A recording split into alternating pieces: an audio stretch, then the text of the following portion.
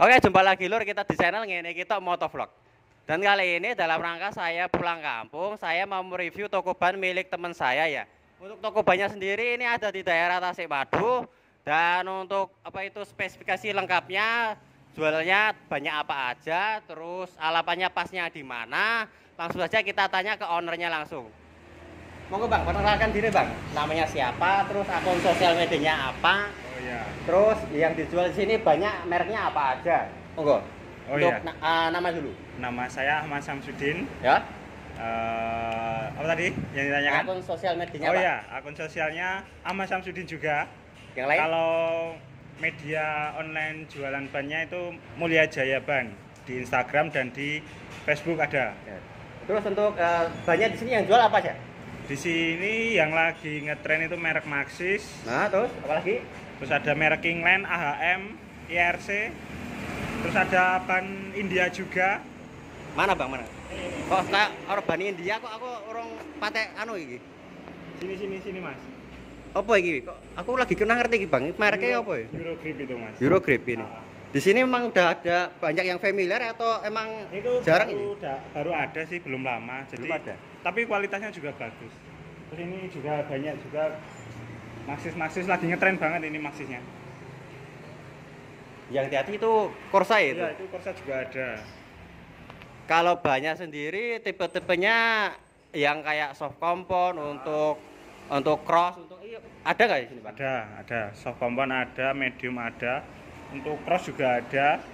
Dual purpose juga ada. Lalu bos wah ini kayak komplit juga ini jualannya ini. Terus ya selain ban ini ada lagi nggak yang jual di sini? Eh, ini sambil jualan oli juga Terus Oh, ada tutulan oli. Eh, lagi ya apa Bang? Ini, Bang? alat-alat juga ini Oh. Kayak anu ya kayak bur-burune ya Bang, ini, Bang. Ah, itu Bur apa impact ya? impact bur gerinda ada Oh. Terus untuk pasaran harganya ini langsung saya saya mau tanya ya. Kalau cuman kayak ginian pasti kan pasaran ban. Kalau ban kan banyak ya ini Ya. harganya ya. Kalau ini pasarannya berapa ini? Kalau impact yang baterai 2 itu 850.000. Kalau yang terus? baterai 1 600. Terus ada juga impact yang besar itu 1.400.000. Lumayan tuh ya. Tapi ini anu 300 ribuan. ini pakai baterai berarti ya? Iya, itu pakai baterai, bisa dicas. Berarti yo praktis sih iki lur. Iya. Iki nek kayak ano kendala apa ning dalan nggo mobil yo nek arep nyopot ban yo tinggal tes-tes doang ora perlu nggo colokan iki. Iya, iya, iya. Terus di sini bentuk penjualan ban yang paling banyak itu banyak apa ya? Kalau saya yang paling laris itu ya Maxis ini, Mas.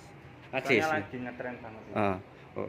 Oh, di sini pakai alat untuk yang masang bannya juga ya ini ya? Iya, ada alatnya juga jadi mempercepat kerjaan dan Biar tidak- biar gak lecet sama peleknya itu ya. Iya, Pasti benar. ya itu. Soalnya nek dodolan ban nek nyungkile ke ke jero nek nganti lecet ya kok dikomplain karo customer sing genah kuwi. Iya, betul. Ya, iya.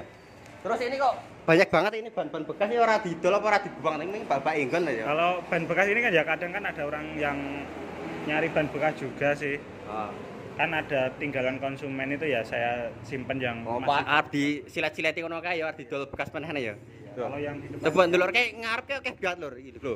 Jualane Bang Udin iki mang akeh. Mungkin omset sedina iku akeh tenan iki.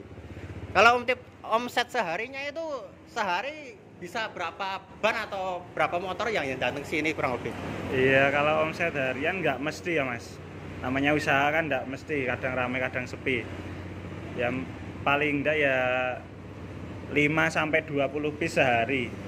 Ya sakmono ya akeh to ya. Lumayan lah. Nek wong dodol pinggir dalan kayak iso ngedol loro telu ki alhamdulillah sampean 20 ki luar biasa menurutku. Kalau 20 itu sam- sama grosiran juga.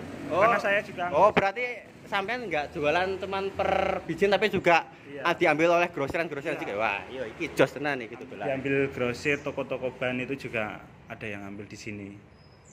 Untuk cabang belum ada apa mau bau baru meniat apa itu buka cabang yang lain enggak? Kalau saat ini belum ada cabang. Berarti baru, di sini doang ya? rencana. Ini kan udah ada mesin dua ini. Nanti yang satu buat di cabang rencananya sih. Oh, rencananya. Tapi belum tahu mau buka kapan.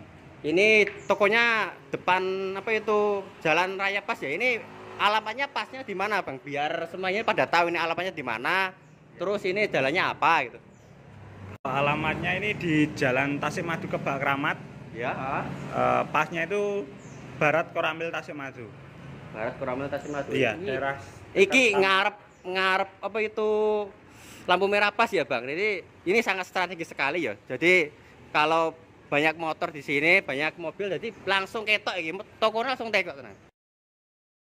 Ya iki sini foto wae video review toko bane pamudi iki kanca desaku iki. Kanca desa ada kaya barat lagu pacar lima langkah. Ini pang lima langkah bang dari rumah ini dekat banget ini.